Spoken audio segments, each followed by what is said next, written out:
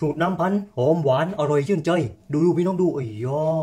สีหน้ากินอย่างแรงนี่พี่บ่าวได้สูตรน้ำพันธุ์ที่อร่อยมาก พี่น้องเอาไปทำเฉลิมฉลองช่วงวันหยุดสงกรานต์นี้ได้เลยส่วนผสมที่ใช้อันดับแรกก็เป็นน้ำสับปะรดร้อยเปอร์เซ็นต์สองลิตร น้ำส้มยี่สิบห้าเปอร์เซ็นต์สองลิตร น้ำหวานปินสละสี่ร้อยมล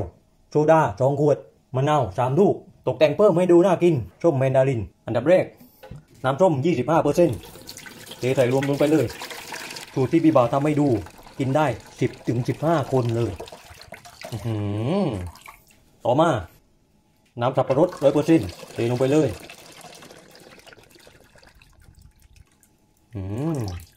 แล้วก็ตามด้วยน้ำแดงปิ่นสละ ใส่ลงไป 400 ml ละเหลือประมาณนี้ นี่จะคนให้ดูน้ำข้างล่างว่าสีมันเริ่มออกแล้วดู หลังจากที่ทำเสร็จแล้วจะได้ปริมาณน้ำ5ลิตร แล้วก็มีความหอม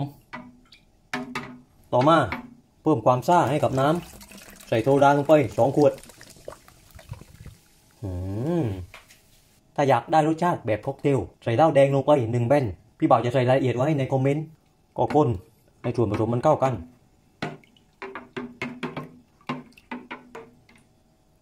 เดี๋ยวพี่บ่าวชิม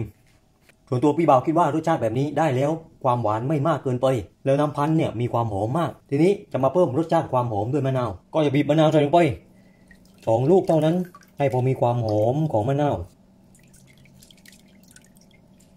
คนกลุ่มผสมไม่พอเข้ากัน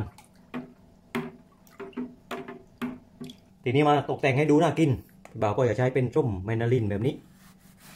ผ่าเป็นชิ้นแบบนี้ พี่บ่าวล้างเปลือกเรียบร้อยแล้วนะพี่น้อง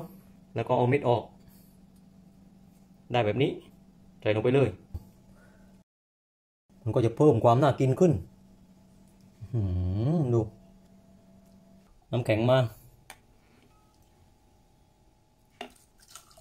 ใส่ลงไปมะนาวเสียบไปปุ๊บอืมส้มนาริน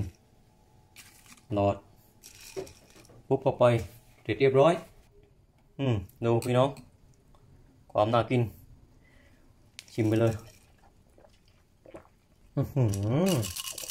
อากาศร้อนๆแบบนี้ ได้รสชาติที่มีความหวานหอม แล้วมีความซ่าของโซดา